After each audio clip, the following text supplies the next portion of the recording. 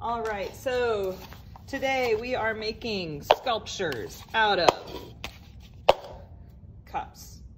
All right, styrofoam cups, nothing fancy. They do need to be white or like a uniform light color because we are going to be using this sculpture that we make as the basis for our next drawing and shading project. So we need that plain white surface because we're looking for those areas of light and shadow as it goes around this curved surface, okay? So how are we gonna make our sculpture? Well, you would probably need, I would say two to three styrofoam cups. These are pretty little. So if you have the bigger ones, you might only need a couple of them. And we are going to cut these into some different abstract shapes and stick them together to make an abstract sculpture. So don't worry about it looking like anything. It's probably not gonna look like much, okay? The end goal is for this to no longer resemble a cup. It needs to look completely different, like it's not made out of styrofoam cups at all. There's a hair on mine. There's, there's no hair required for this assignment. Okay, there we go. All right, so let's see what we can make out of this. So you might be wondering how to build and assemble your different pieces of your styrofoam cup. The easiest way is to cut a slit on one part and then the part that you want to attach, cut a slit into that as well. And then you're going to link these together, okay? You don't even necessarily have to cut both of them. You could just cut one of them and then slide it down onto that part. So this is a really easy way to build height. I think that's key for this sculpture is you wanna try to make this as large as possible. So I'm gonna be cutting lots of shapes out of this. And again, trying to get rid of the styrofoam cup look. We don't want it to look like a cup anymore.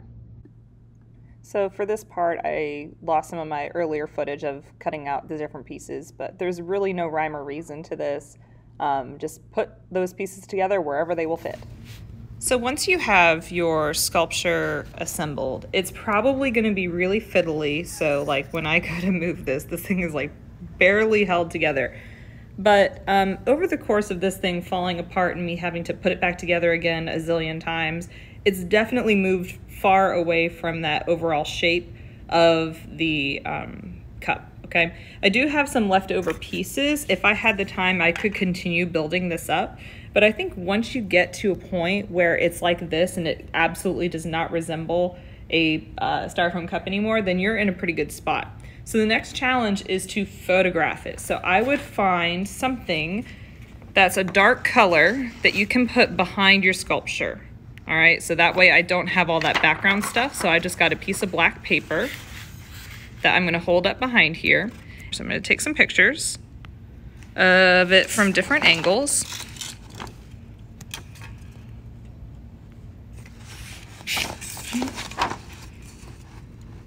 Just trying for some variety here. Okay. So now I've got some pictures and I'm gonna edit this. So just pick any one of those pictures that you like, change it to black and white. And what I'm looking for is a range of values. So when I zoom in, if you look on this part of the cup, you can see a highlight and then kind of a gray area next to it. You see how it goes away when I do that. So I don't wanna use this silver tone filter um, I'm trying to preserve that highlight and shadow. So probably I'm going to stick with this one. And then I'm going to crop it. And you want to stick to something that is rectangular that only has styrofoam cups. So you want it to run off the edge and crop it, and then you're done.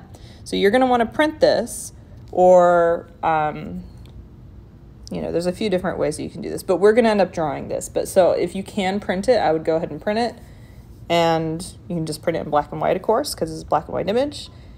If you can print it the same size as your paper, that will save you quite a bit of time and effort. Or if you want to print it as like a half size, that's pretty good too. And I'm going to show you how to do an image transfer so that you can get this onto your drawing paper very, very easily. So we'll look at that in the next step.